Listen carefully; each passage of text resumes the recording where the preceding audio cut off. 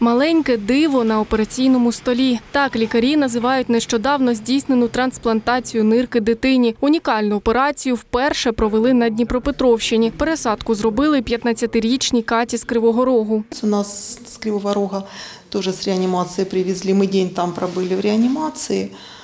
До этого заболели, сказали, коронавирусом, и так ничего у нас и не было вроде бы. все было в порядке. А потом резко, оказывается, гемоглобин у нас опустился, вот это все. И у нас мы попали сюда уже, это оказывается, как-то оно у нас копилось, копилось, копилось. І виявилось, що в Каті хронічна непрацездатність нирки. І батьки дівчинки, і медики до останнього сподівалися, що вони запрацюють. Провели безліч аналізів, лікували різними апаратами. Та все марно. Єдиним виходом було готувати операційний стіл і шукати донора. Це була родинна трансплантація або батько, або мама.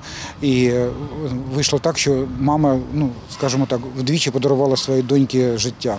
Перший раз, коли вона її народила, і інший раз, коли вона подарувала їй свою нирку. За життя Каті боролася велика команда фахівців, майже 30 наших лікарів та колег із київського Охмаддиту. Сама операція проходила так е, у двох операційних, які знаходяться у нас поряд. Вони проводились паралельно. В одній операційній знаходилась мати дитина, донор, який проводилось вилучення нирки.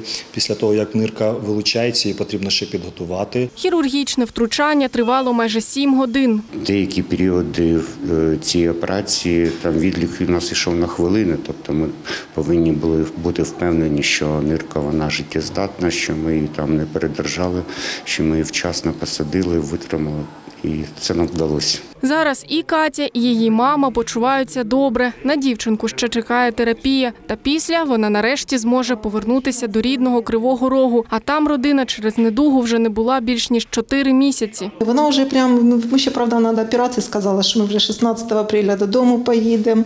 Я, каже, вже все сказав, мені каже Сергій Валерійович, 2-3 неділі. Я посчитала, 16-го будемо уїжджати. Вона вже готова. Хоче закінчувати школу, хоче вчитись далі. А поки мама та Катя відновлюються, у лікарні вже готові робити наступну трансплантацію. Фахівці говорять, все для цього є. Каріна Зіналова, Ніколь Савченко, Євген Гаценко, Open News, телеканал відкритий.